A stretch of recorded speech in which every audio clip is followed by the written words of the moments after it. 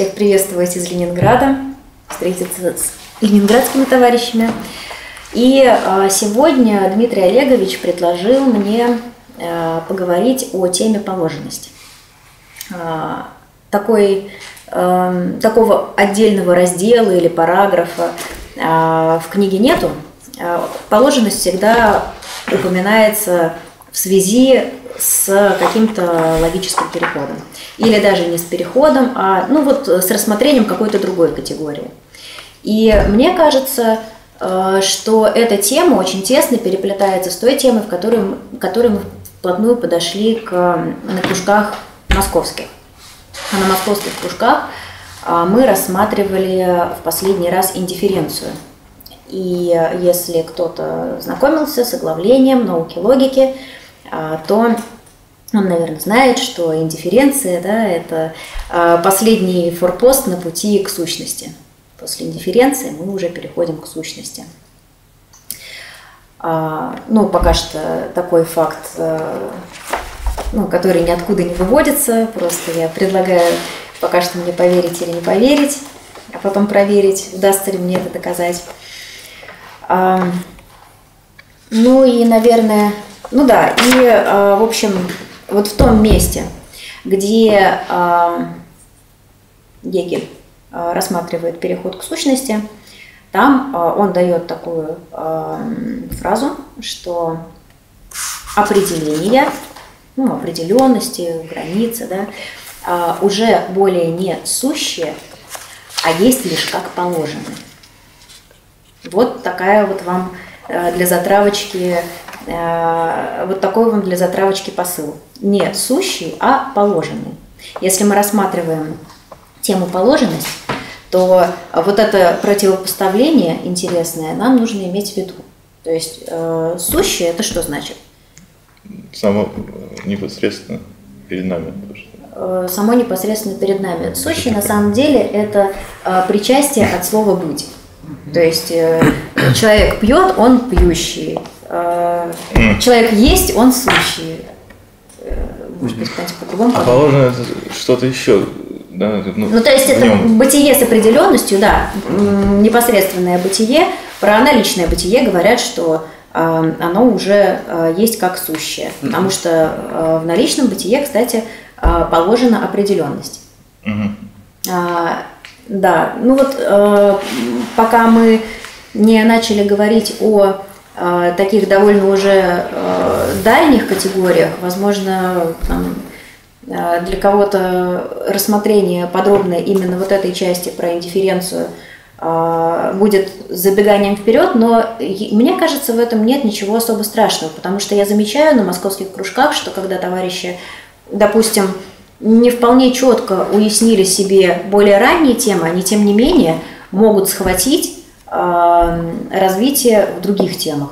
Вот так получается. То есть, возможно, они что-то упустили, но э, в, в каких-то более сложных категориях они все равно могут что-то понять, ну, потому что э, логические категории, они же взялись не с потолка и не из головы Гегеля, а они э, взялись из материальной жизни, из взаимодействия человека с природой.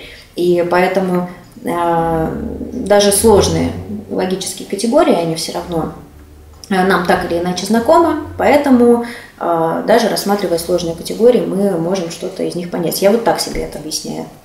Прежде чем я попробую сегодня поделиться с сокровищем, которое нашла вот буквально несколько недель назад, попытаюсь, попытаюсь поделиться э, с истинной сущностью, да, э, во всем ее сиянии. Э, наверное, нужно тему положенность затронуть со стороны вот даже самых абстрактных категорий. Какая самая абстрактная категория? Самое чистое, чистое бытие. Чистое бытие. А, чистое бытие, в нем определенность еще не положена.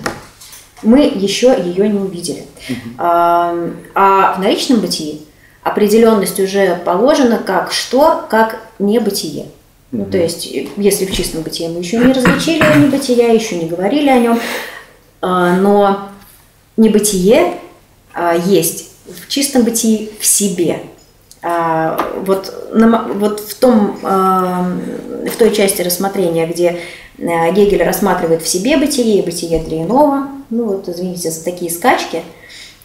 Есть еще противопоставление положенности того, что положено, тому, что есть в себе. Наперед могу только сказать, что то, что есть в себе, это еще не значит, что оно положено, да, ну, то есть это, это значит, что оно еще не положено. А положено оно а, только тогда, когда мы увидели этот момент в том, что мы рассматриваем. То есть, э, то есть мы, например, определенность, а, определенность, э, скажем, есть в, сейчас скажу, качество есть в количестве. Опять прыгаем, да? Качество, качество, а, точнее, а, количество имеет качество в себе. Ну, типа то есть, неразличенное. Типа. А, то есть количество это что такое? Это результат снятия качества. А, ну, можно дать э, разные определения. Количество это ну, границы, которые есть в бытии, но безразличны для него. Вот. А еще а, количество можно определить как снятое качество. Это качество, да, но как снятое. То есть это отрицание качества, и в себе количество есть качество. Да? Его история возникновения, вообще количество опосредствовано качеством. Другого количества мы не знаем. Мы снимаем качество, чтобы получить количество. Но мы еще в количестве не увидели качество на определенном этапе рассмотрения. Мы еще не знаем, а будет ли вообще качество или нет. Это же безразличные границы. Вам что, не ясно? Вам же сказали – это безразличная граница. Качества нет, это снятие, отрицание качества. А оно должно как-то появиться. И вот когда мы уже увидели, как оно появляется, как оно проявляется в количественных отношениях, что качество действительно в количестве есть, вот тогда мы говорим, а, что а, качество в количестве положено, и а, такое количество, в котором качество положено, есть уже мера. Это уже не просто количество, это уже отрица... мера, это уже получается отрицание количества, да? снятие количества. Это уже такая безразличная граница, которая уже не такая уж и безразличная граница. Вот, потому что в ней есть качество. Вот э, немножко попрыгали по разным категориям, по бытию, по количеству. Вот. А сейчас, а сейчас попробуем разобраться – а, разобраться с индифференцией. Наверное, да. Индифференция. А, индифференция появляется, на мой взгляд, у Гегеля довольно внезапно. То есть а, вот, на той странице, где он только начинает говорить об индифференции, а, получается становление сущности, третья глава, 338 страница – индифференция появляется как будто бы из ниоткуда. А, до этого а, он говорил не об индифференции, а о субстрате. Если мы говорим об, индифференции, то, наверное, нужно немного обернуться назад, чтобы понять, откуда вообще она взялась. Вот, кстати, меня вчера товарищ спрашивал, как это так у нас на, на московских кружках преподавателю все перечат, говорят, как-то ну, ну да, все перечат, там пытаются как-то спорить, лучше знают, что ли. А, ну, я ничего не могу, э, я ничего не могу сказать э, против. А, нет, я могу сказать. А, я не могу осуждать э, студентов, которые э, мне возражают, потому что когда я сама читаю Гегеля, я говорю, ты, ты что, старый дурак, тут написал? Откуда ты вообще это взял? Откуда ты, откуда вот это вот? А потом оказывается, что старик прав. Ну, если подумать, если так, а вот откуда взялась эта фраза? А вот откуда взялась эта фраза? А вот тут он вообще на чем это, на, на чем основано то, что он тут написал? Вот, то есть ну, если подумать, разобраться, вспомнить, что он писал до этого, то оказывается, что э, все-таки Э, не из ниоткуда, он берет э, э, развитие своих категорий. Вот. Ну и получается индифференция. Несмотря на то, что она появляется довольно внезапно, и о ней он раньше не говорил, тем не менее ее появление обосновано. Индифференция – это безразличие, да, и без difference, разница, безразличие. И, кажется, он э, пользовался именно этим термином. Э, ну, в рамках полемики, да, с Шиллингом, кажется, или с кем. Ну, в общем, э, именно этот термин он использовал, потому что он использовал его полемически, споря с другим исследователем. Вот.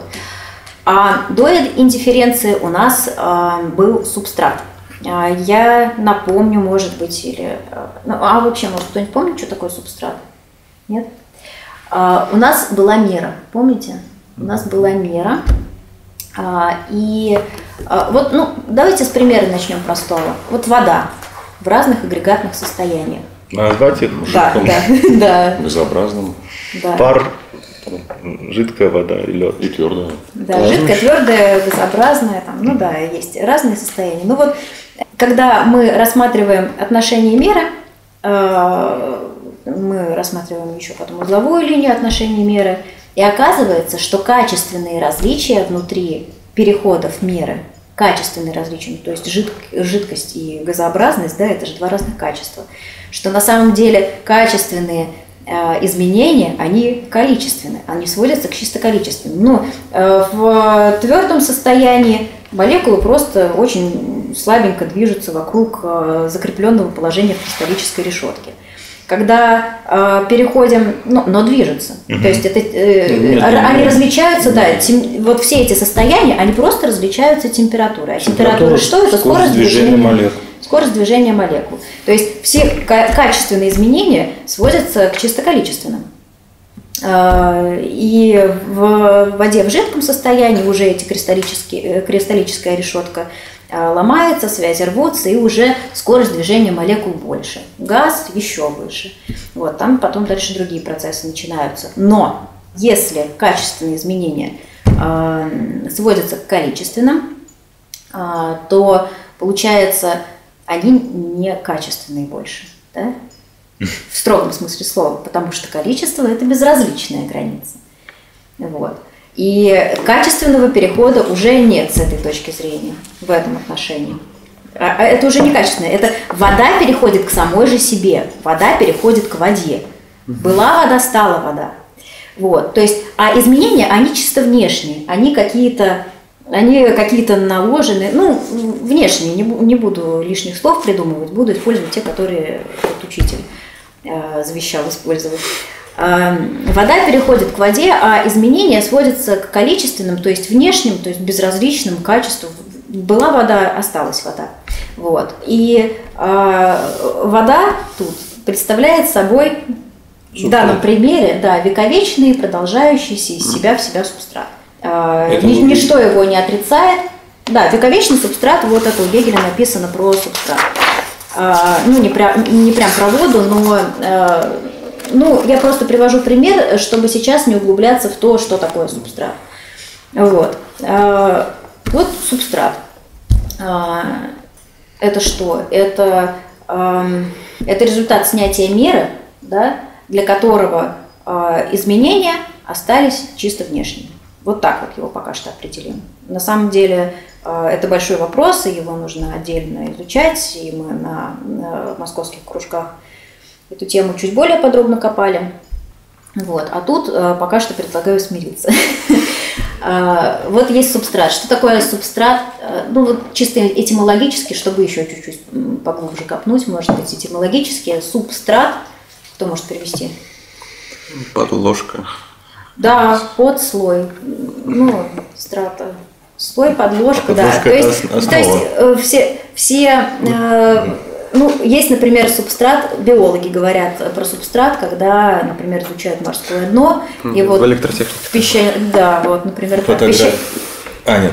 Пеща... Да, Пеща... Песчаное дно или еще какое-нибудь дно, к которому прикрепляются кораллы, там кто-то ползает. То есть то, что э, снаружи, ну или ладно, э, ну вот есть слой, вот есть э, вот какое-то место обитания – а все, что по нему ползает, это внешнее. И даже если оно заползло внутрь, это все равно, ну, оно может когда-нибудь станет частью субстрата. И э, кораллы, как растут, они же они же надстраивают э, своих, э, ну, получается, место обитания своих э, праотцов, вот, и потом погибают, и на них строят э, свои скелеты, их потомки, полипы, да, и вот так вот э, субстрат развивается тоже.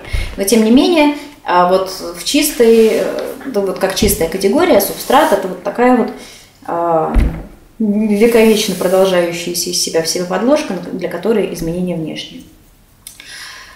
Разобрались. А теперь э, индифференция. Так вот, индифференция – это тот же субстрат с тем отличием, что различие теперь уже внутри него. Вот в чем разница. То есть они уже не внешне, а они уже внутри него. Почему так получилось, как так вышло? А просто Гегель рассмотрел, что вот эта индифференция, да, э, без, мы приходим к безразличию только благодаря тому, что мы это различие сняли, благодаря тому, что оно было. То есть мы посмотрели на этот субстрат и говорим, ну, на самом деле это нечестно.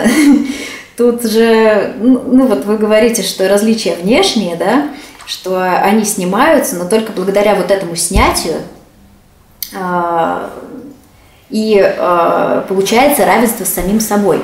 Только благодаря отрицанию совершается выход вне себя, чтобы встретиться во, вовне с самим же собой. Согласны? Только благодаря этому отрицанию. Только благодаря различию появляется безразличие. Только благодаря, ну, давайте вспомним, только благодаря конечности появляется бесконечность. Мы рассмотрели конечное, и если бы не рассмотрели, мы бы не пришли к бесконечному. Не благодаря, просто мы можем прийти В результате рассмотрения. В результате, ну если, да, спасибо. Да. И строго, строго говоря, да, действительно.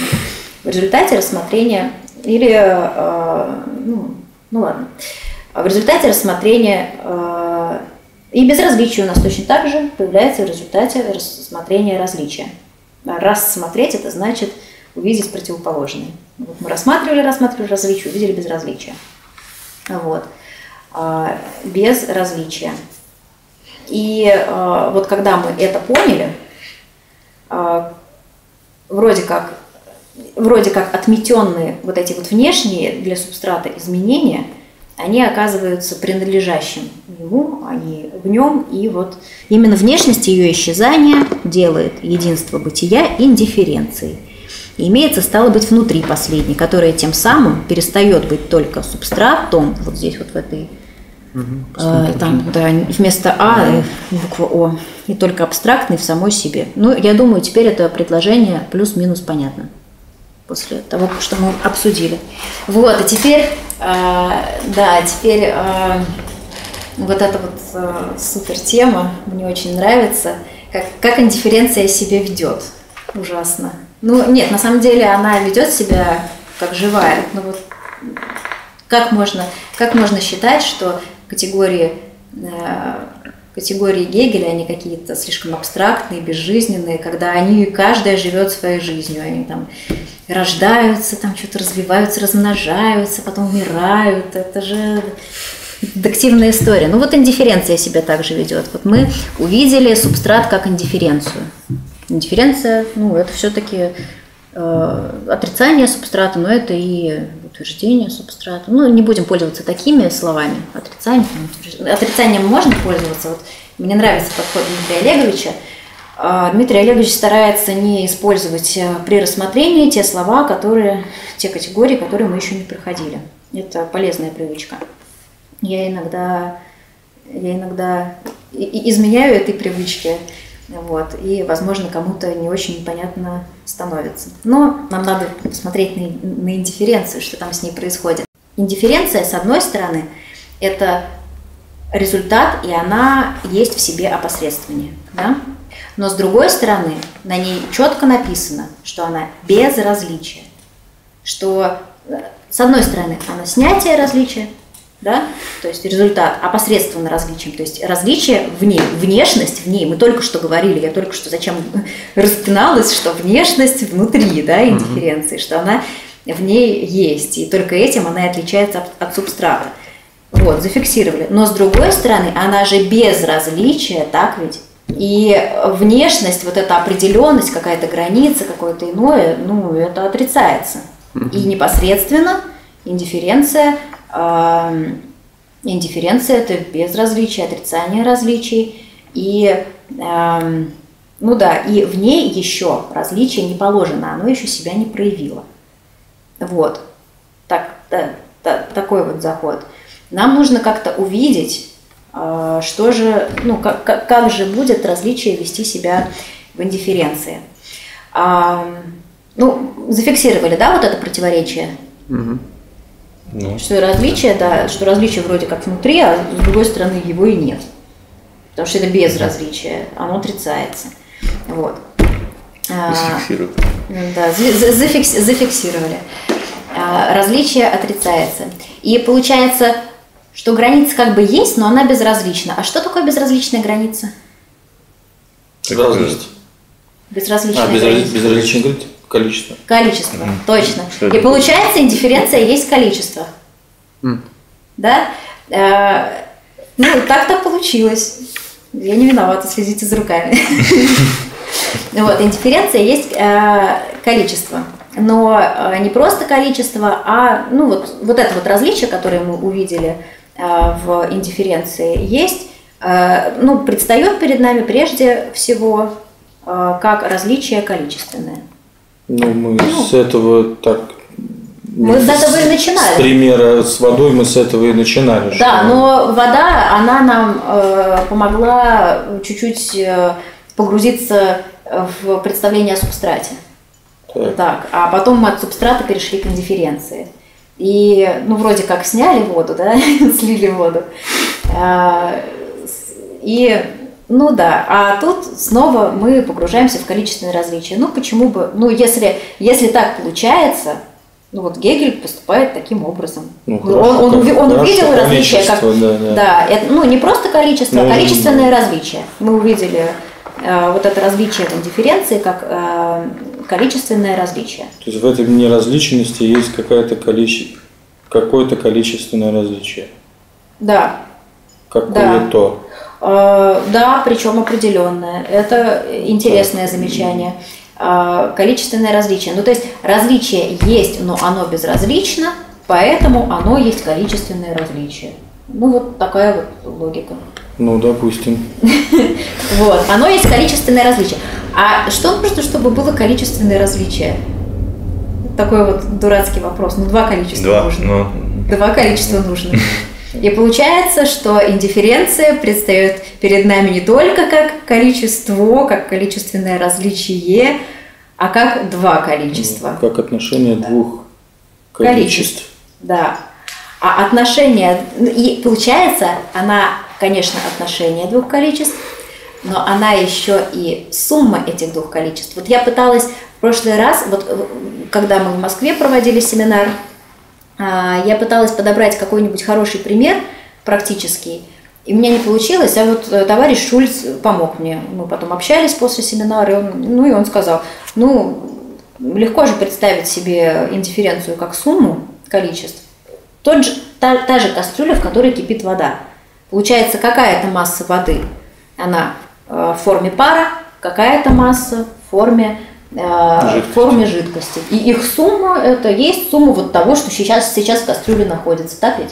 Ну, сумма да, их масс. Это масса всей воды, которая сейчас в кастрюле находится. А пар там внутри везде, да.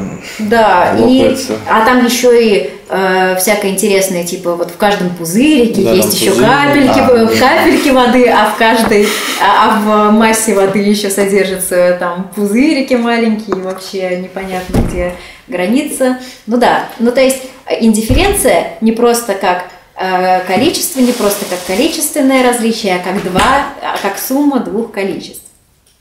А сумма, сумма это тоже интересное дело. А сумма, сумму рассматривал Гегель, когда говорил об обратном отношении. А, то есть напоминаю, либо, либо просто поверьте мне на слово или не верьте, а, у нас э, количество стало, показало себя как отношение, причем сначала как прямое, потом как обратное, потом как степенное, и потом э, перешло в меру. Э, и э, когда мы говорим о сумме, то это обратное отношение. Что имеется в виду? Ну, вообще, э, обратное отношение, вот, ну, чисто математически, математически тут ближе произведение все-таки, когда а умножить на b равно какая-то константа, да? И график... Э, Обратное отношение не... График обратного а отношения – это прямое отношение. То есть а делить на b, то есть а относится к b, каким образом? Так, что всегда равно c. Какой, какой-то константе. Так. Это, это частное, да? Вот частное это, это показатель прямого отношения. Угу. А э, произведение – это показатель обратного отношения. А потом уже он от произведения переходит к произведению ну, на, само себя и уже к а, степени. А, это степенное. А, вот, вот. так вот. Там, там та, такой, такой, такие у него были переходы интересные. Я согласен, да. А, вот. И, э, и вообще э, обратное отношение – это было как произведение – и график обратного отношения. Кто знает, что это такое? Что я в воздухе рисую? А, ну, вам, наверное, вот так вот. Э, вот этот вот график. Гипербола? Гипербола, да. Да. Вот. Один делить на x равно что-то что, что еще. То есть два числа относятся таким образом, ну, обратно друг к другу. То есть э, угу. двойке нужна семерка, чтобы стать равной показателю отношений 14. Двойке нужна семерка. А, Семерке нужна двойку, чтобы стать 14. Четырем нужно три с половиной, чтобы стать 14. Ну вот. И э, во сколько раз увеличивается одно число, во столько же раз должно уменьшиться другое. Там уже половинка. А? Ну, э, э, пока можно. Ну, математика это все-таки математика это частный пример, то есть и сумма, и произведение это все частные примеры обратного отношения не исчерпывающее обратное отношение. Так, ну а сумма-то вот... Вот, а, а сумма, э, она ведет себя примерно так же. А, то есть единицы, ну, допустим, возьмем тот же показатель обратного отношения 14, единицы, чтобы стать 14, нужно 13. Так. И она получается в себе 13. При том условии, если показатель этого обратного, данного конкретного обратного отношения, только этого, 14. То есть насколько увеличивается Э, если в, обра... ну, если в произведении во сколько раз увеличится одно, во столько же раз должно уменьшиться другое, а, то в сумме на, на сколько на. раз увеличится одно, настолько же должно уменьшиться другое. Вот. И эм, а вот интересно. Мякотка, да. А умножить на b, это же и а плюс а плюс а, и так b раз. Да? Да. Ну, ну произведение это, это, это, это сумма, да, да. только да, это более высокая, ну, если мы смотрим из, из арифметики уже, когда как это не степенное, а кратности уже вот эти начинаются, тогда да, это более высоко понятая сумма получается, да? Ну, да, в принципе. Ну, э, собственно, нам нужно же, мы про индифференцию говорим, нам нужно чуть-чуть въехать, э, чуть-чуть назад э, оглянуться, что там было с суммой, потому что это важно. Эм, так вот, в обратном отношении оказывается, что каждая сторона этого обратного отношения есть в себе свое иное. Она, во-первых, есть в себе свое иное, то есть двойка должна быть в себе семеркой, ну, должна еще и... Э, она, она во-первых, если э, показатель этого отношения 14, то двойка в себе э, в этом отношении имеет семерку. То есть она в себе свое иное. И она также в себе еще и вся сумма, ну, в смысле, тут произведение, да, я произведение говорила, если 2 умножить на 7 равно 14, а чтобы была сумма, то есть 1 плюс 13, то есть единица должна иметь в себе 13, чтобы быть 14. Вот. Единица в себе и свое иное, то есть другой момент, другая сторона отношения, и единица в себе же и все целое. Вот, э, вот, вот это интересует нас в обратном отношении. И именно об этом говорит э, на странице 339 э, Гегель. Можете потом проверить мои слова, э, что на самом деле, когда индифференция у нас предстает как сумма двух количеств, ну, может быть, не двух, может быть, сколько угодно количеств, но все-таки ну, да. мы начинаем-то все-таки с двух. Сумма, для суммы все-таки нужно два минимум. А, вот. Э, сумму двух количеств, обратное отношение, и получается каждая, каждая из сторон этого отношения есть в себе другая сторона. И есть ну, другая сторона. Другая сторона. Что, что я пытаюсь подчеркнуть? Другое? Другое. Границу. Ну, качественное различие. То есть сумма двух количеств оказывается еще и суммой двух качеств. Ну, это не удивительно. Ну, это не удивительно, ну, да. Если но... мы в мире... Да, да, да, да. Мы все еще имеем дело с мерой, поэтому Э, поэтому, ну, просто нужно зафиксировать, что э, вроде различия не было, а тут мы хоп увидели, а тут мы хоп увидели э, количественные различия. Хоп, их уже два. Хоп, их уже не только два количества, но и, еще и два качества. И причем каждое из этих э, качеств в себе вся индифференция. То есть в себе свое другое, и, следовательно, вся сумма целиком. В себе есть эта граница если каждая из сторон отношений в себя имеет эту границу, то значит она в себе сумма целиком. То есть весь результат. Э, вся индифференция, да. Капиталист. То есть да, а, а, а, могу, могу чуть-чуть, могу чуть-чуть э, облегчить э, скрипение шестеренок живым практическим примером, что в себе газ есть вода в жидком состоянии. Он может конденсироваться. В себе, только в себе. Он еще пока не жидкость, он еще пока газ, но он может конденсироваться. А в себе жидкость есть твердое тело, может застыть там как-то или кристаллизоваться. Только в себе, но в себе есть вся сумма. То есть, и, ну и даже не только Э, жидкость э, в себе твердое тело, но она, ну, в жидкости твердое тело в себе и газ, и вообще э, вся сумма состояний, которые есть. А вот просто любопытное замечание. А ведь бывает такая ситуация, вода уже минус, имеет температуру минус, да. но еще вода, ей нужно извне да. какое-то воздействие. Да, встряхнуть, и тогда... Тогда она моментально замерзает. Да, но это скач... это скач... То есть она как раз узловая линия отношения меры, это вот а. точка, как это она, перехода, да, наверное? Да, ну можно даже ее перейти и при этом без изменения качественного, да, вот о чем сейчас говорит Вячеслав. А, то есть, да, она еще жидкая, хотя уже минус, но нам нужно очень аккуратно замораживать, ну, в смысле, не замораживать, а понижать температуру, там ничего не трясти, угу. там очистить предварительно от примесей, то есть накладывают свои определенности, э, попытка вот э, обойтись без вот этого перехода, да, как привычного при нуле градусов.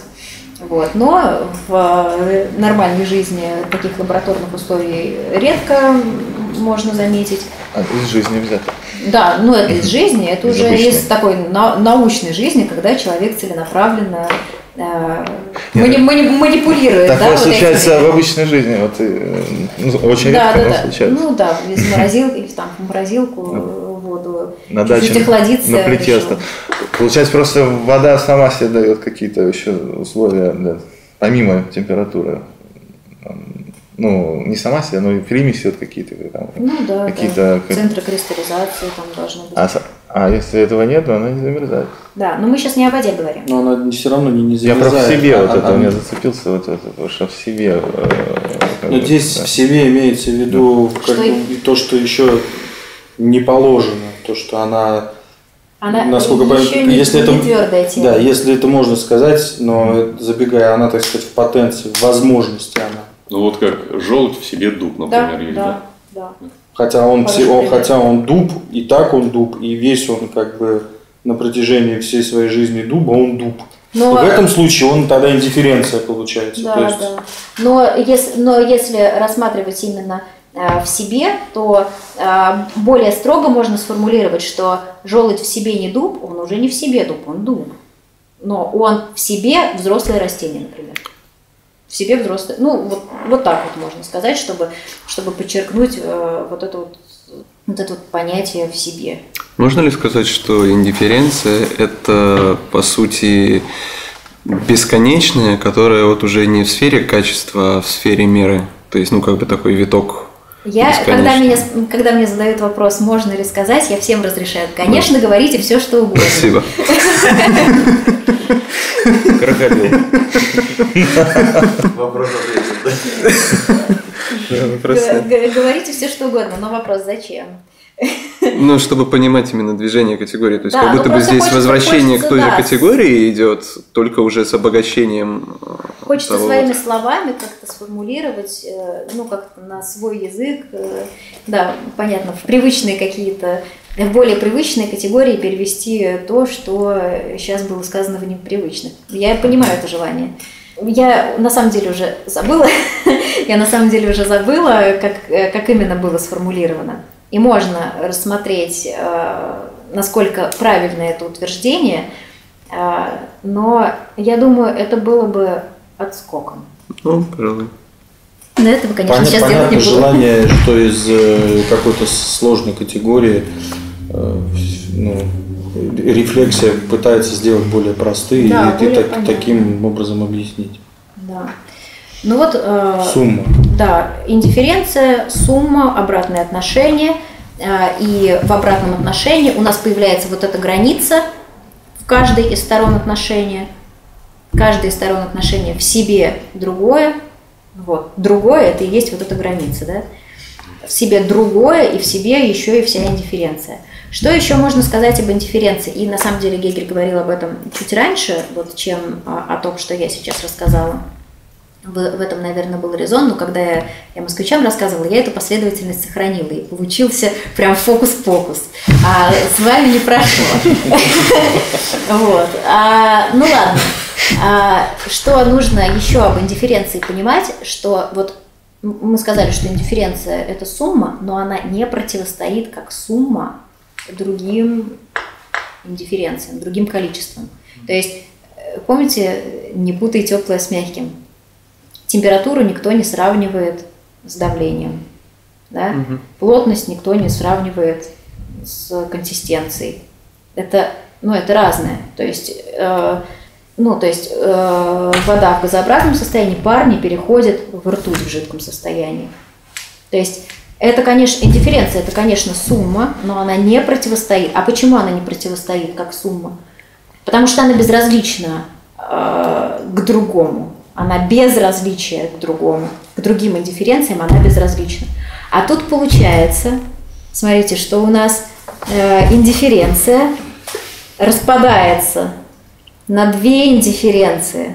То есть каждая из сторон есть в себе индифференция. Одна индифференция и другая. И они уже друг другу безразличны.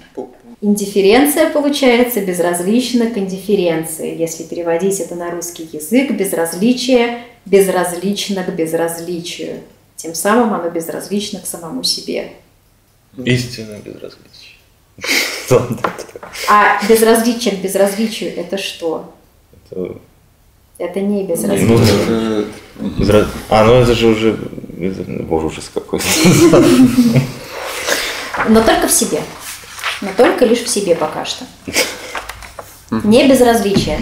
Ну, то есть, не безразличие. То есть, а мне все равно даже то, что мне все равно.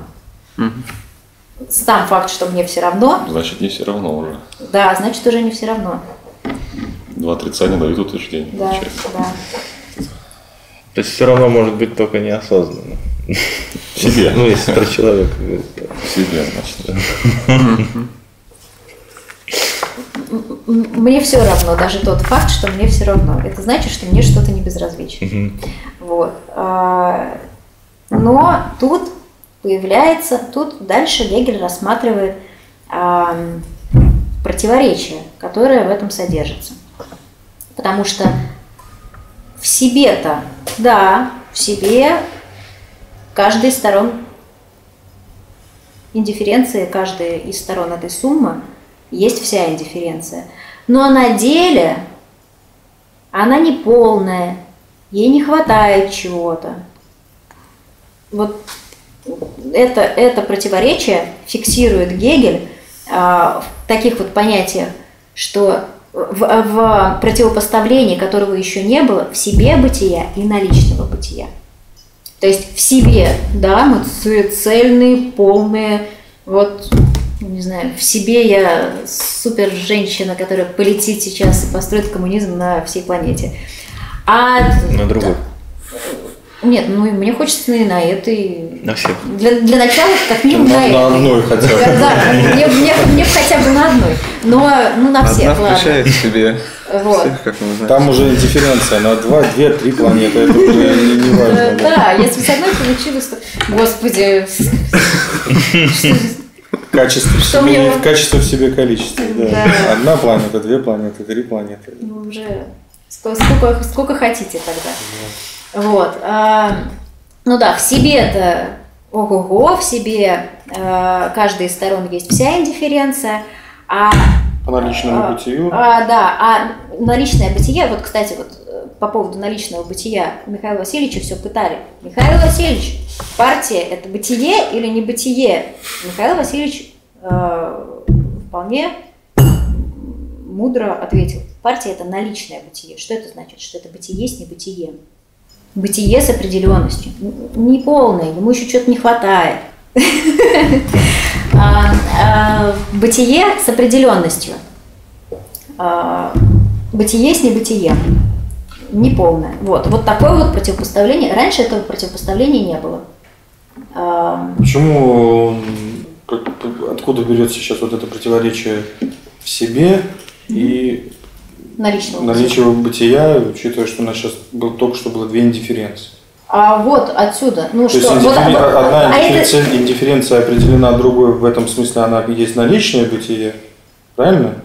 Э, не одна индифференция определена другой, а одной стороне, да?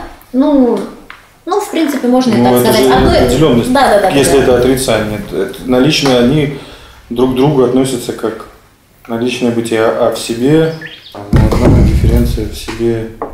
Объявляем. Разделяются в себе бытие и наличное бытие, да. А, Мы остановились на противоречии между в себе бытием, сторон индифференции, и наличным бытием. Вот, мы про это поговорили. А, И а, как, да, Почему не на в себе бытие и на личном бытие, они, например, там как нечто иное должны воспринимать? То есть это то же самое, типа только другое. На нечто Ну, типа иное. ну, индифференция и Нечто иное это слишком абстрактно. Ну, смотрит на, ну, а в себе бытие на личном бытие. А в себе это э, в себе это то, что он уже использовал для описания других категорий. То есть э, в себе, ну просто с другими категориями, действительно э, Гегель в результате рассмотрения приходил к выводу, что какая-то категория есть в себе иная категория. И вот то же самое он увидел здесь и так и назвал. Точно так же, как и везде. Ну, как в добросовестный исследователь. категория должна быть- ну, бытие для иного, а здесь он берется на. А не только бытие для иного, Гегель предупреждал, что Да, в себе бытию не только бытие для иного а, Она и в нем бытие, да. а еще и положенность, и в нем бытие тоже. То есть в нем бытие это что? Это такое в себе бытие, которое нах- находится в единстве и в борьбе с бытием для иного, да? Да и другого в себе бытия и нет. Оно, Да, на оно, самом деле. оно всегда в нем Не, ну, то есть вот этот момент Я индифференции, себе который относится писатель.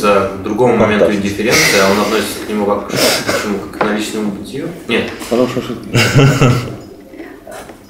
А, Относится к нему как к наличному бытию. Нет, он сам наличное бытие. Почему он наличное бытие? Потому что он бытие с небытием. Потому что ну да, он не но полный. она не относится типа индифферентно к другому моменту своей индифференции. Относится. Относится. Безразличие. Ну, э, мы говорили о том, что индифференция безразлична к другим индифференциям. Ну, э, индифференция не, против- не противостоит как сумма другим количествам, она к ним безразлична. Она э, есть сумма только в отношении своих моментов. То есть э, в, отношении, в отношении сторон, да. Э, То есть э, вода, да, есть сумма всех состояний воды.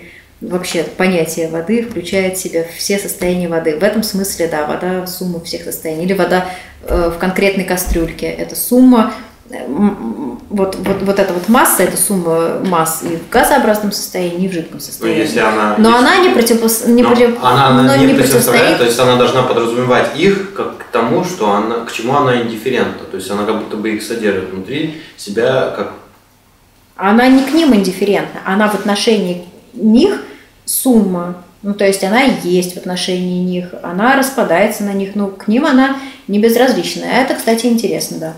Но э, ну, Гегель это исследует потом, но просто не в куче. Он последовательно рассматривает, что э, вот, пожалуйста, вам два количества, вот вам два качества, две индифференции. Э, индифференции э, не имеют э, границы с какими-то другими индифференциями. Почему? Да потому что, э, потому что э, нет различия. Нет качественного различия. Мы запретили выходить, мы сами себе, словом безразличия, запретили себе выходить э, к другому.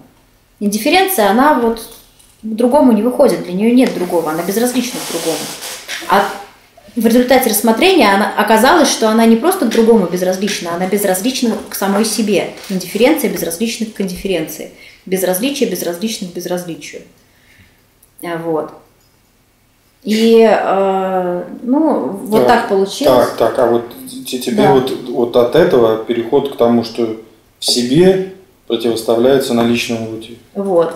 А, мы, э, почему вообще Гегель об этом начал говорить? Я могу предположить, почему. Ну, то есть я вам в той последовательности, в которой Гегель об этом говорит, э, сообщила.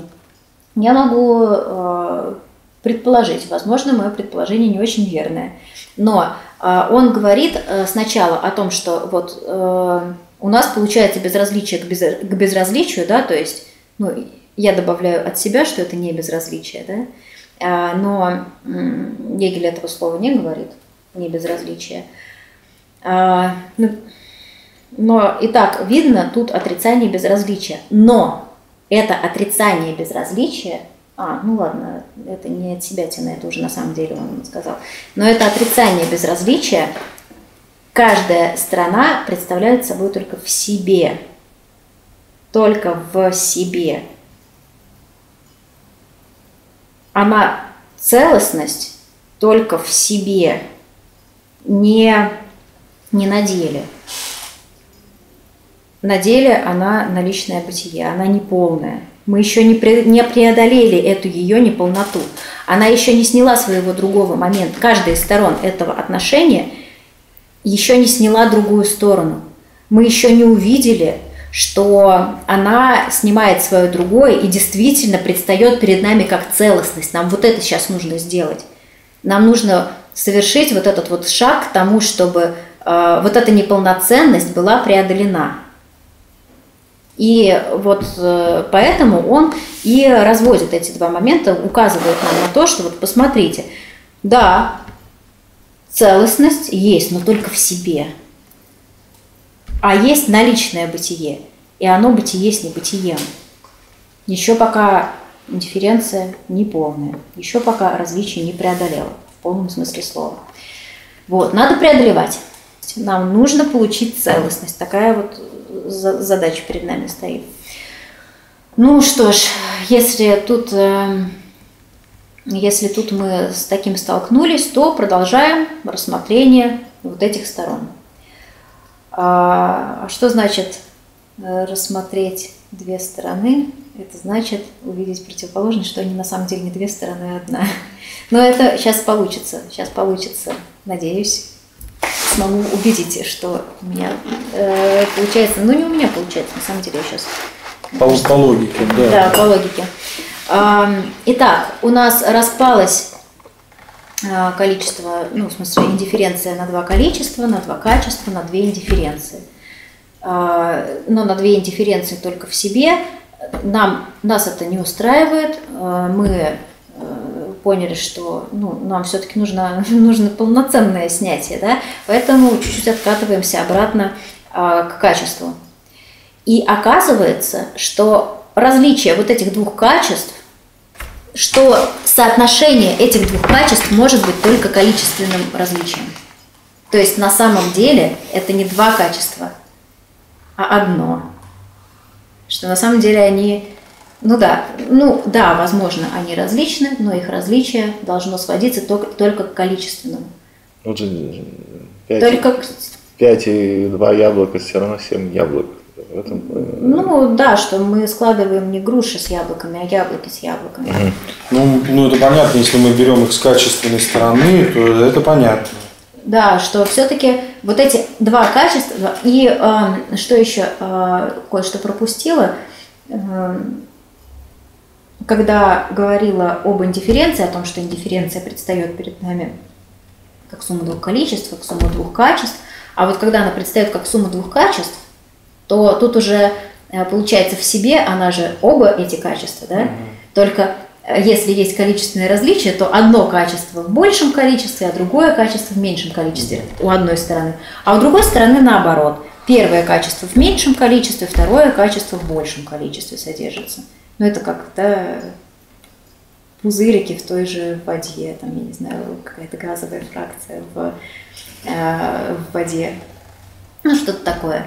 Ну вот, ну, э, э, это, э, это есть. Он говорит об этом, что, ну вот, как будто бы, ну, получается так, что сумма двух качеств, она такова, что одного качества, в одной стороне одного качества побольше, другого поменьше, а в другой э, наоборот. А тут оказывается, что их не два качества, а что э, соотношение между ними, ну что это что различие между этими качествами только количественное. То есть качество, ну, как мы уже привыкли, оно снимается да, в количестве. Ну, так получается, что это больше не качественное различие.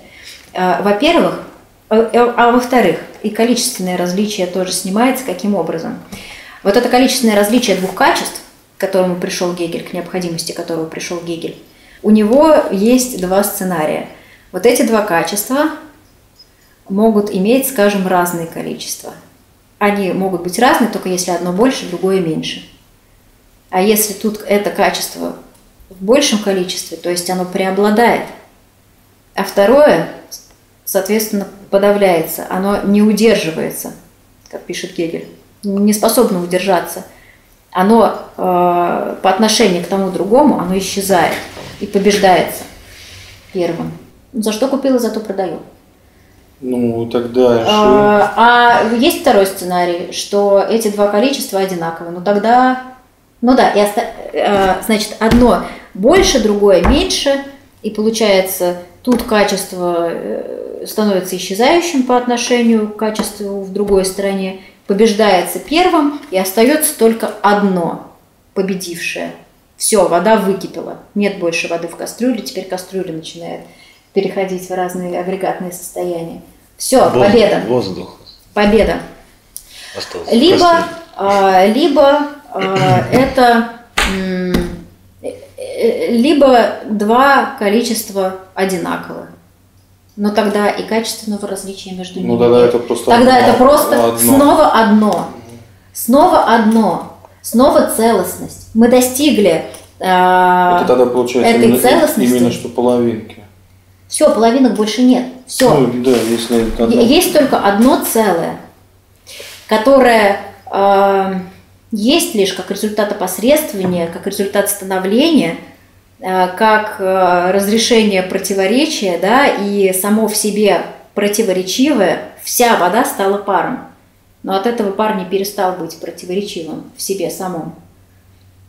И вот эта целостность, вот это единство, которое есть как отрицание самого себя, как результат отрицания самого себя, это и есть сущность. Вот то, что мы сейчас тут э, получили, целостность, да, вот то, что осталось. После всех вот этих вот движений, пертурбаций, которые происходили с индифференцией, осталась целостность. Не было этой целостности, была неполноценность.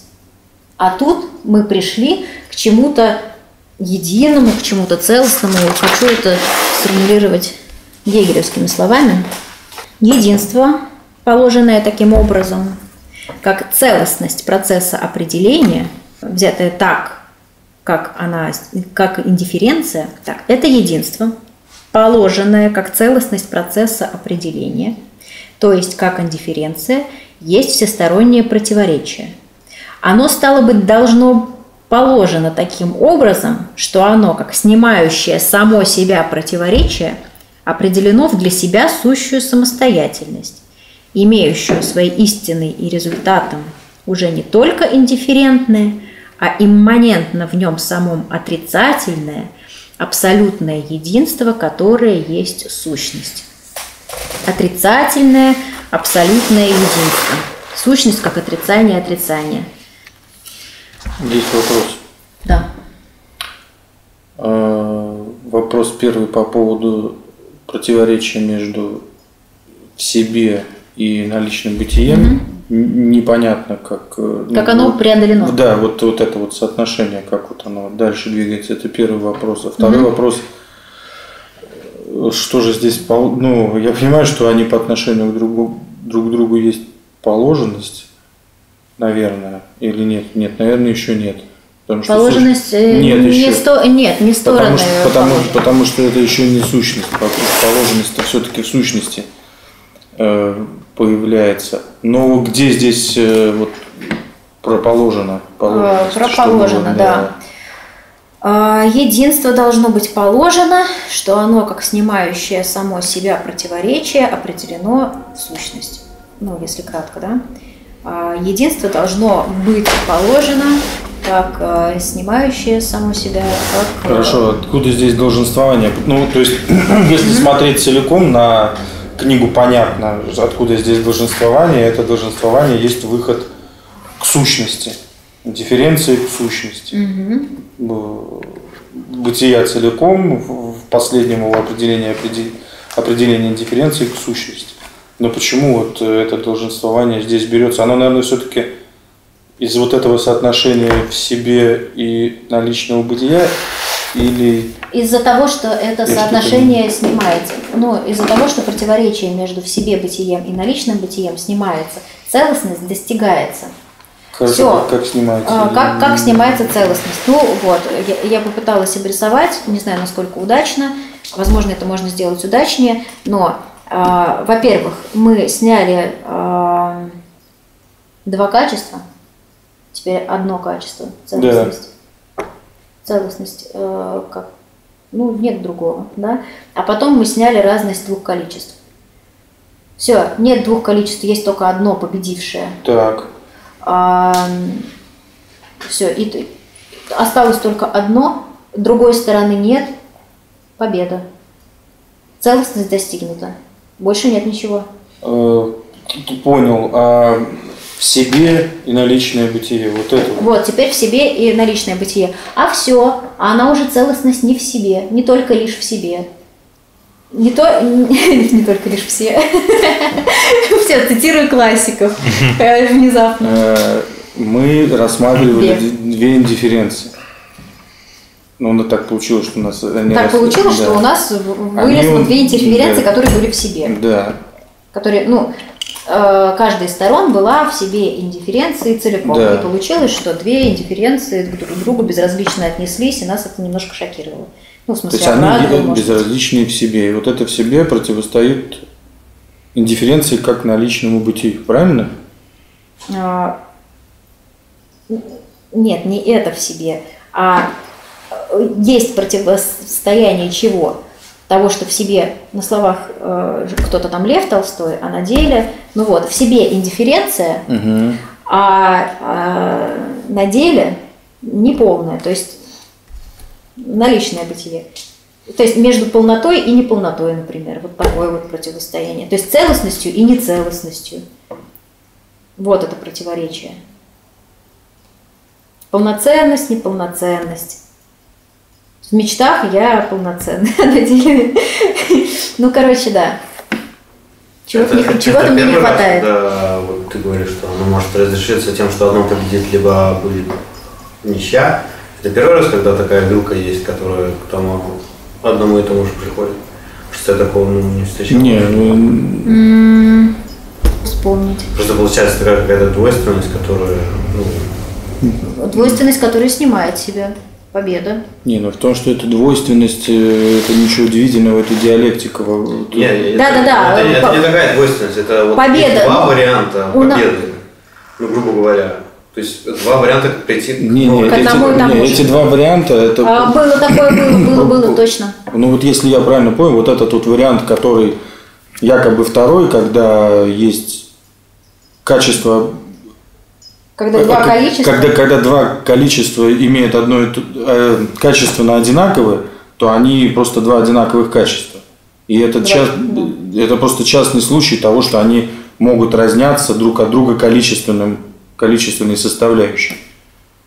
Ну, грубо говоря, Почему? ну, ну, тут же говорится, что сначала мы рассмотрели, что они что есть два момента этих, две этой дифференции, и потом мы посмотрели, как они с друг другом соотносятся. С одной вот они так, могут... что они результируют в то, что они все равно станут целостностью. Да, они станут целостностью, что, но, но если ты, если я правильно понял, если мы берем две чашки с водой, в одной воды больше, в другую меньше, что одну переливаем в другую, что первую во вторую, у нас получается целостность. Это Нет, вот поглощение. Это, у тебя есть Кока-Кола и есть виски. Ты, если это у тебя да... больше Кока-Колы ты перелил, у тебя будет больше Кока-Колы.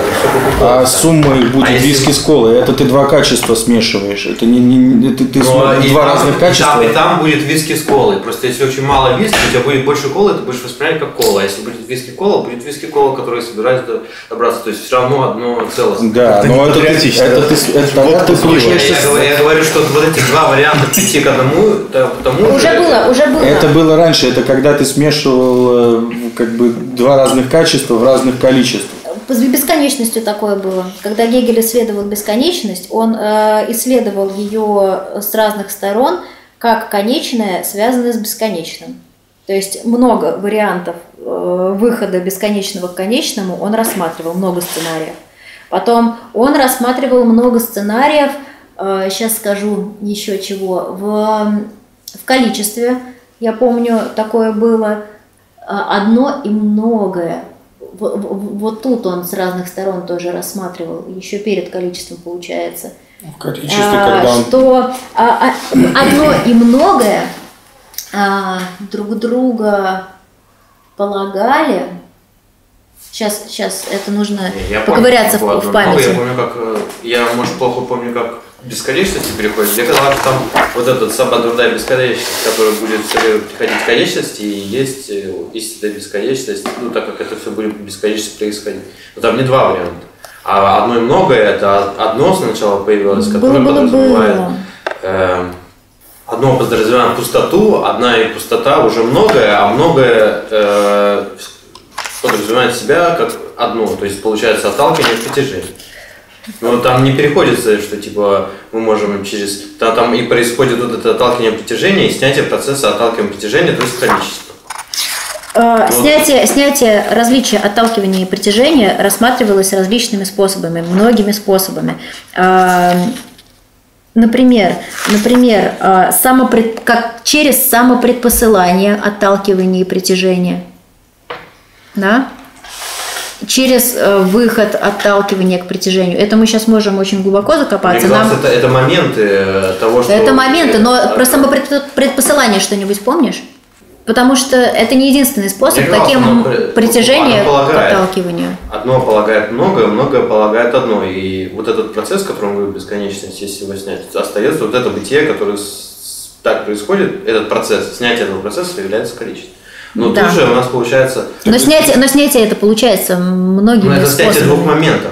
А тут же не ну, два да. момента, что у нас я так понимаю, что так, ничья... Не, не, нет, смотри, вот в том-то сиди, у нас-то здесь два момента. Просто эти два момента соотносятся друг с другом в разные количественные пропорции. Да. Но когда они совпадают, это на самом деле совпадение не разных количественных пропорций, а это просто один и тот же момент.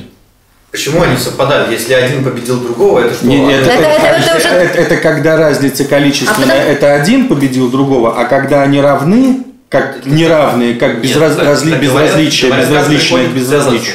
Приходит к целостности взаимоисключающим образом.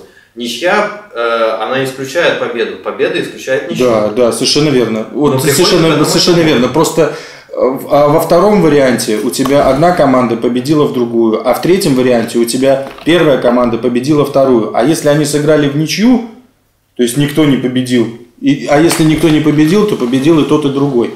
Но у тебя результат с этой стороны, количественная составляющая, совпадает 2-2 это или 0-0, безразлично, это один и тот же результат. Правильно я понимаю? Или, или может быть нет, Но я, я, это, я это могла, я это хотела объяснить по-другому. А, количество в чем состоит? А, в том, что оно постоянно выходит вне себя, оно может быть любым. И в том числе, а, в том числе один из частных случаев этого выхождения вне себя – это равенство вот этих двух количеств. Вот, поэтому То количество себе... А? Ну, оно, вот... оно, не, оно не, здесь оно не степенное. Ну, нет. нет, ну равенство двух количеств, я так понимаю, что вот это вот, когда переходит обратное отношение, когда они равны, получается квадрат и, соответственно, степенное отношение. Нет, тут мы обратное отношение э, рассматривали ага. не как произведение, а как сумму. Ну, на, нас не очень интересовало, что там было с произведением, что там было э, что там было тогда, когда мы рассматривали обратное отношение во всех его подробностях, чтобы оно перешло к степенному. Вот. Тут, тут нас ни степень не интересует, тут нас ни произведение не интересует. Тут мы рассмотрели индифференцию как сумму, и в принципе Гегелю оказалось этого достаточно. Э, сумма это что? Это просто два разных количества. Э, при этом индифференция не противостоит как сумму другим, она есть сумма только в отношении своих моментов. Вот. А эти моменты, поскольку они количество, они могут быть всякими. И при этом их качество не меняется. В том числе они могут быть и равными. Почему бы нет? Давайте рассмотрим этот вариант. Можно пример? Вот смотри, одна четверть плюс три четверти. Три четверти поглощают одну четверть и получается четыре четвертых, то есть одно. Или три четверти плюс одна четверть, если их переставить местами, переставить местами, три четверти поглощают опять одну четверть, и получается четыре четвертых, то есть одно. А если две четверти плюс две четверти, это просто-напросто две половинки, то есть одна вторая и одна вторая, они равны, это не разные количества, они ничем не... Это одно и то же качество, одна, это одни и те же две четвертых. Что с этой ну стороны ну, да, ты да. смотришь, что с этой стороны смотришь, количественной ну, разности. Количественная, но мне казалось, мы когда говорим про индифференцию, когда появляются два момента, это значит, что есть теплое и мягкое.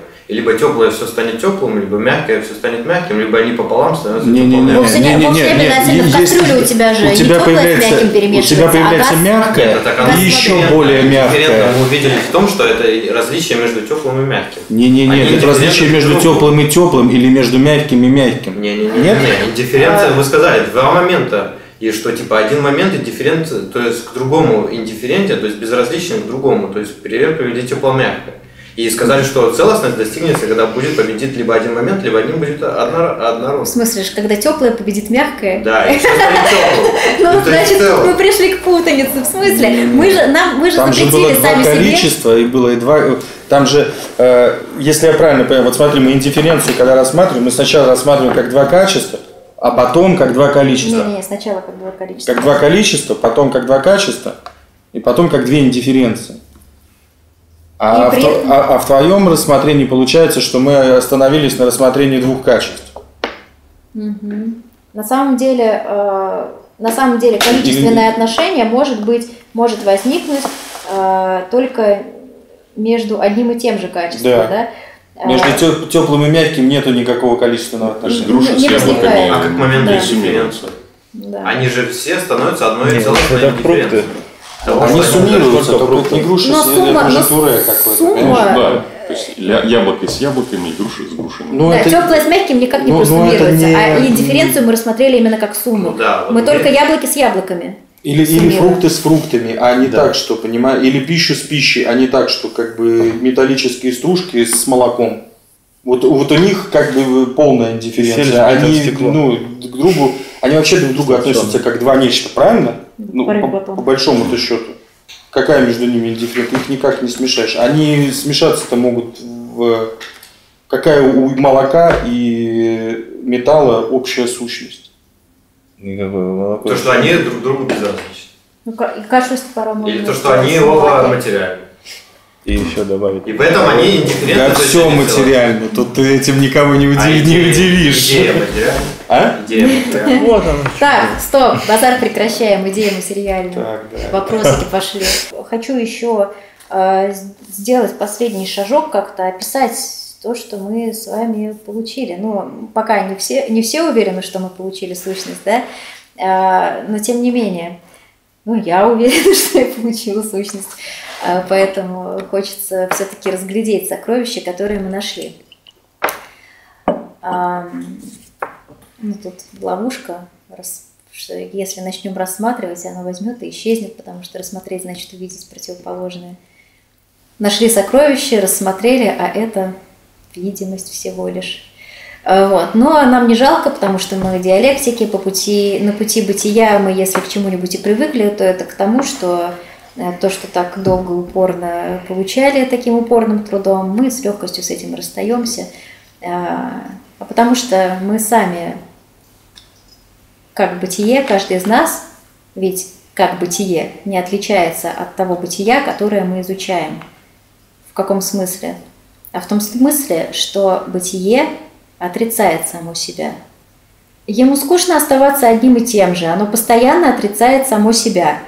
Оно, э, ну, в этом его природа. И как раз сущность есть выражение вот этой определенности бытия, вот этой природы бытия, его самодвижения, его самоотрицания, абсолютной отрицательности бытия, как хотите.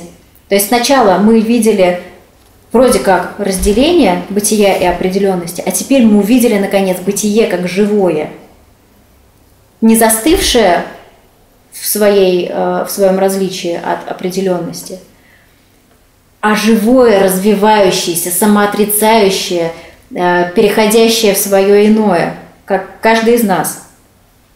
Мы должны переходить в свое иное постоянно. Самый лучший пример, мне кажется, это дети, э, потому что они постоянно там, выходят из себя, да, постоянно себя отрицают, куда-то залезают, коленки разбивают, ну отрицают себя постоянно, не следишь за ними. Вот. Это родители пришли к понятию, а они еще нет, они еще чистая сущность. Они постоянно выходят к своему иному, для них очень сложно там, усидеть на месте, им говорят, сядь, посиди спокойно. Но это может сказать только человек, который пришел к понятию, а он-то еще не пришел ему говоришь сядь, а он сто процентов, если ты ему говоришь сядь, посиди спокойно, это значит, что он не будет сидеть спокойно. Вот. Эм, ну да. И, э, и тут э, надо немножко потоптаться с этой сущностью, немножечко все-таки посмотреть на нее. А, мы пришли к снятию, да, вот, вот этой вот целостности, э, которая есть лишь как опосредствование – а, и вот что, о чем еще говорит Гегель? О том, что застревать э, в представлении, что различие, оно есть лишь внешнее, да, вот я вроде как вначале вам говорила, что э, ну, и то вода, и это вода, да, э, то есть что в газообразном состоянии, что в жидком. Ну какая разница, все одно и то же. Но на самом деле не одно и то же. А вода в том и состоит, что она разная, что она постоянно меняется, она может быть разной. И ну, благодаря этому жизнь Земли возникла, да, это, когда мы нашли, ну да, э, вода разная, э, в разных своих состояниях, и ее состояния как раз и составляют ее природу. И э, то, точно так же глупо считать, что э, ну какая разница, феодализм, там, ну рабовладение, феодализм, капитализм, все одно и то же, везде товары, да? Тоже это глупая рефлексия, только так считает. На самом деле э, все состоит в постоянном самоотрицании. И феодализм себя отрицает в капитализм, капитализм себя отрицает в коммунизм. И, возможно, коммунизм начнет тоже как-нибудь себя отрицать, но мы пока только, только можем что-то знать про первобытный общинный коммунизм. Может, что там будет э, с полным коммунизмом. Ну, пока, пока не будем делить шкуру неубитого медведя. Ну, отрицание в капитализм. Ну, у нас такое произошло. Ладно. А, сущность, да? А, мне очень понравилось, когда я нашла вот такую вот фразу – Сущность, каковой она стала здесь, есть то, что она есть, не через чуждую ей отрицательность, а через свое собственное бесконечное движение бытия. Казалось бы, сущность есть снятие бытия. Так? Угу. Ну или сущность есть снятое бытие. Ну, отрицание же бытия. Но сущность не виновата в том, что она отрицает бытие. Сущность это просто собственное отрицательное движение бытия. Бытие в том состоит, что оно отрицается. И бытие только в, той мере бытие, в которой оно самоотрицается. Если оно этого не делает, то оно чистое бытие. А чистое бытие – это ничто. Оно переходит в ничто, Уже если всё. и все, Не и, да, да, не, не- даже не переходит, а уже перешло. То есть, если оно не, если бытие ничем не определено, если оно неопределенное, то оно ничто. Нам такое не надо. Нам нужно только бытие, как вот это вот противоречивое, развивающееся, как мы сами. То есть мы э, в науке логики, мы вот рассмотрев сущность, нашли себя. Здорово же. А вот товарищ уехал и не нашел. Поехал искать. Ну, поищет, конечно.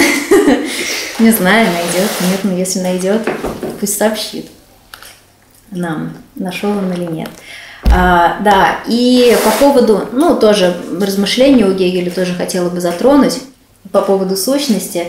А, есть же еще не очень грамотная рефлексия относительно сущности. В массовой культуре, например, можно встретить, я тут подумала, а, есть представление о сущности как о бытие, лишенном определенности. Ну, то есть, вот в этом таинственном доме завелась какая-то сущность, да?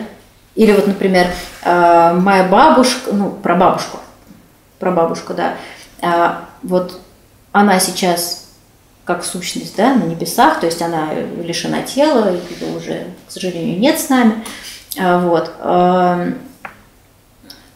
Ну вот она очистилась, да, от бренной, освободилась от бренной оболочки, сейчас сидит рядом с Девой Марией, смотрит на меня и улыбается.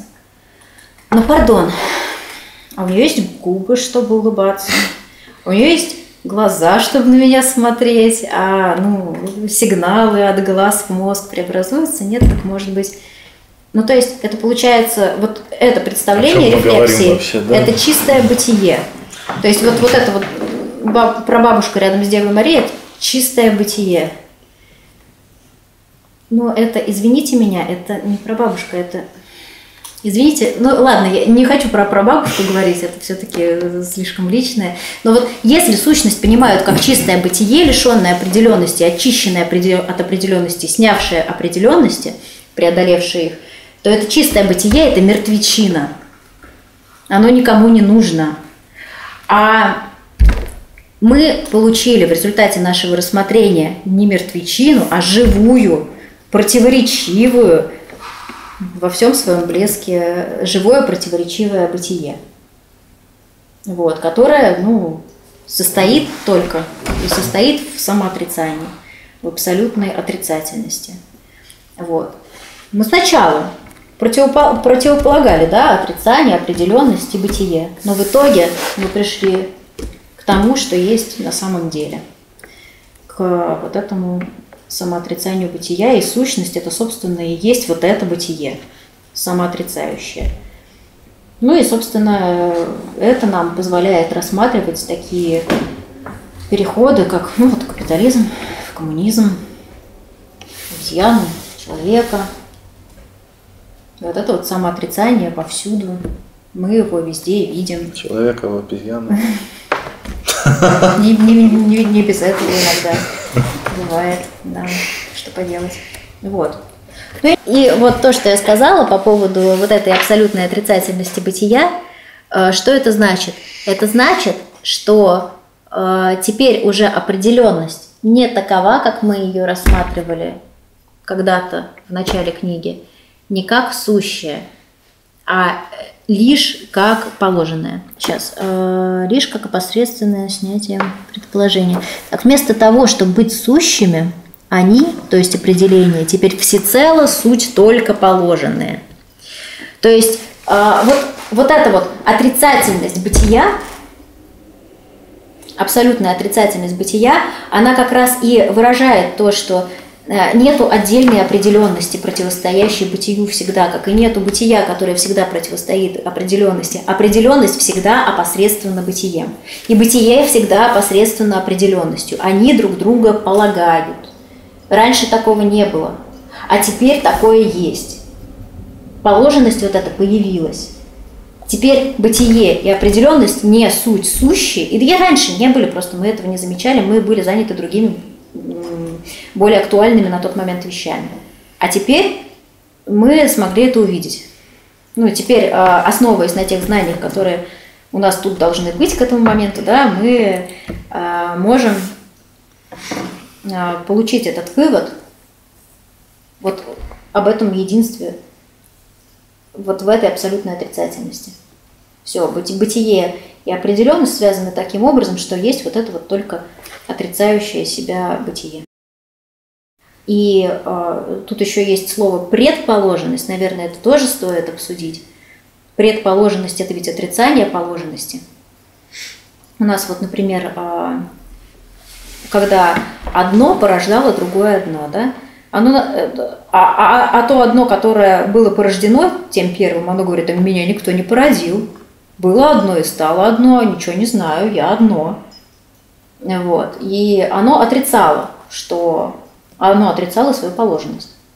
Вот. И то есть оно предстало перед нами как предположенное. Угу. Предположенность, Было есть, такое. предположенность есть отрицание положенности. И вот тут тоже у бытия тоже можете почитать курсив, тут тоже примерно э, так же написано. Отрицается предположенность бытия. Это что значит? Это значит, что утверждается положенность его.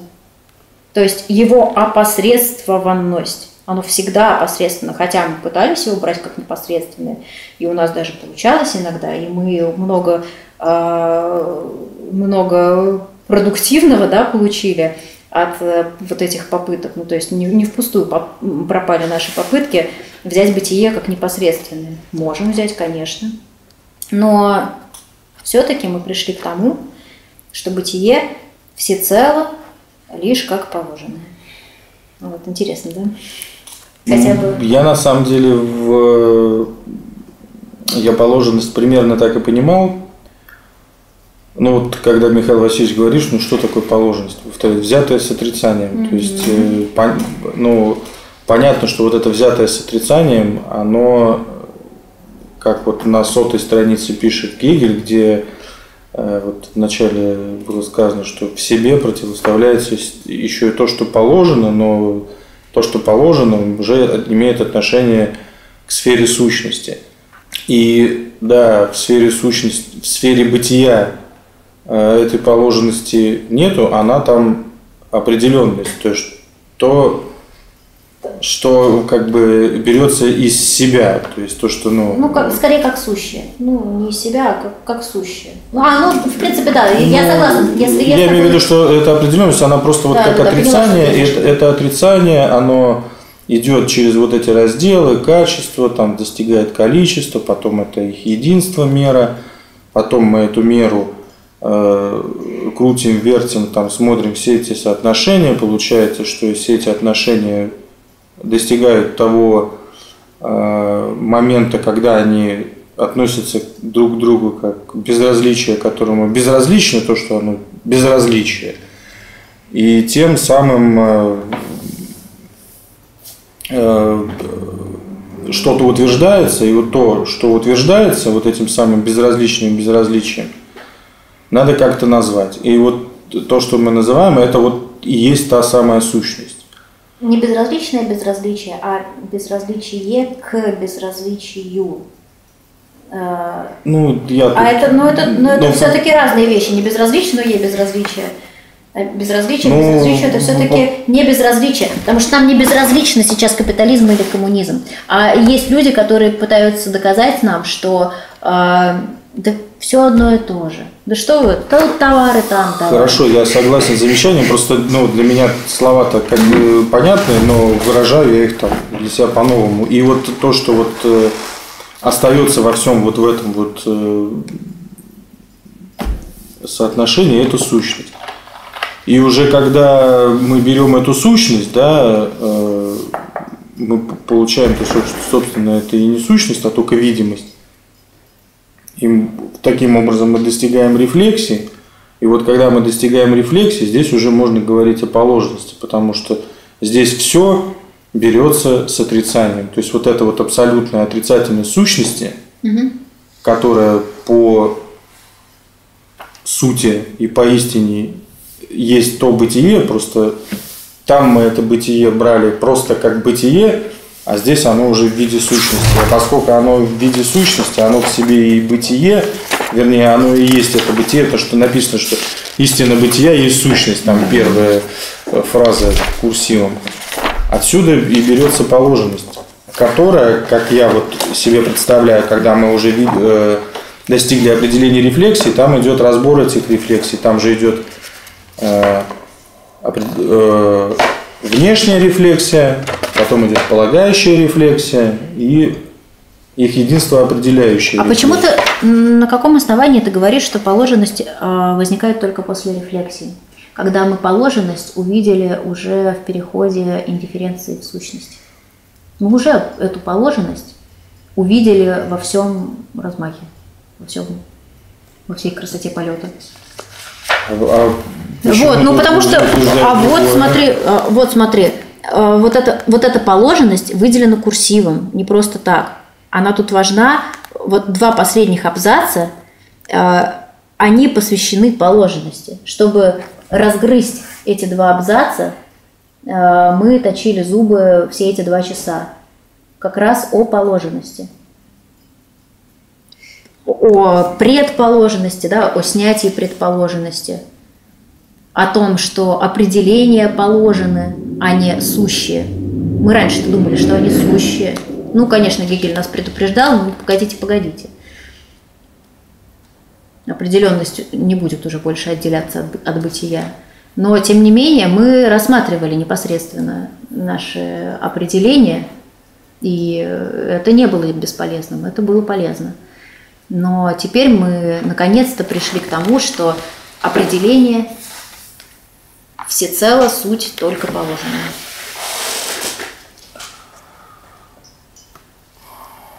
Ну, согласен с текстом книги.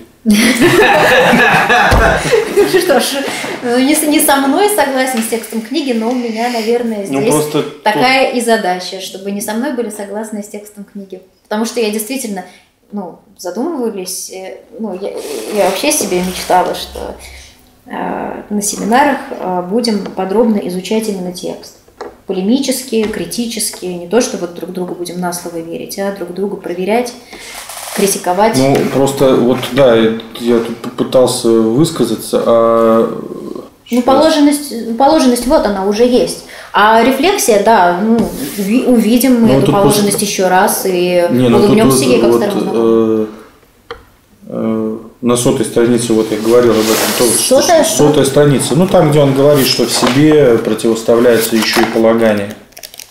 Но в себе бытию противоставляется также и положенность. Угу. Это выражение, правда, подразумевает также и бытие для другого, но оно определительно разум... угу. разумеет уже да, пришедший да. Поворот, поворот назад того, что не есть в себе, в то, что есть его в себе бытие. Чем оно положительно? Да, поняла о чем. В себе бытие должно быть обычно понимаемо как абстрактный способ выражения понятия, точка запятой. Полагание, собственно говоря, относится уже к сфере сущности, объективной, объективной рефлексии. рефлексии и дальше при, примеры. Основания полагают то, что им обосновывается. Причина, больше того, производит некоторые действия, некоторое наличное бытие, самостоятельность которого непосредственно отрицается, и смысл которого заключается в том, что именно оно имеет свою суть, свое бытие в некотором другом. Э, Все, я поняла, э, поняла, о чем твое замечание. В сфере сущности. Э, ну, в сфере сущности, да, и рефлексии. Ну, смотри, я думаю, стоит все-таки различать положенность и а, положительность, да, в чем оно положительно.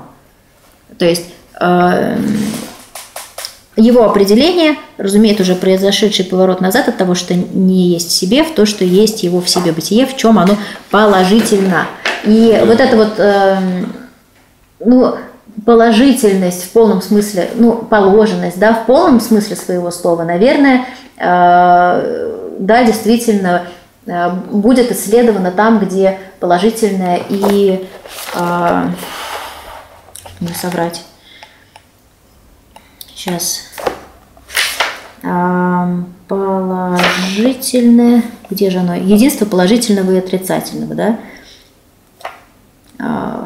когда мы уже противоречия будем. Ну, короче, та, действительно, там, где рефлексия, там будет более подробная тоположенность исследования. Да. Но появилась-то она уже, появилась-то она уже, и э, ну вот... Вот, и вот я ни, ни, вообще ни разу не стану спорить с тем, что в, пере, белая, белая в, вот в переходе вот. в сущность... Э, раз это переход в сущность, есть уже сущность. В этом отношении я не стану спорить угу. в том, что э, как бы понятное дело, что ты более, что мы более подробно рассматриваем любую категорию, но при этом понимаем, что эта категория тогда, когда она была в себе, мы ее как бы видели уже раньше. То есть, ну, это же все-таки развитие. А Просто она уже не в себе. Я как пример, не, не про конкретное место, не про конкретное место. Да. А, а тут э, получается, что эта индифференция, она, она же представляет собой переход в сущность. Она... Индифференция переходит в сущность. Ну, она, пос... она, а, была, она последний, было тут сказано, последний форпост. Да, было такое. Но э, там, короче, еще э, есть такое замечание у Гегеля, что э, на самом деле перехода-то нету, а просто есть э, вот это абсолютное отрицательное единство бытия. Все, никаких переходов. Бытие в бытие перешло. Да, да. А значит не перешло. Нет ну, перехода. Нет, там есть переход со снятием перехода. Это опять-таки да. как когда уже. Нет, э, у меня Все. возражений нет. Но так подробно я этого не понимаю. Ну вот э, про различенность индифференции, конкретно вот категорию индифференции и сумму я так не понимал. Ну, как бы понимал, но не, не значит, не, недопонимал. Ну, то есть, не знаю, а может быть сейчас тоже мы с тобой вместе понимаем теперь не очень правильно, может тоже что-то недопонимаем. Ну, глупее это не стали. Ну да, надеюсь. Да. Все, спасибо, товарищи, большое. Спасибо. Всем привет, Ленинграду.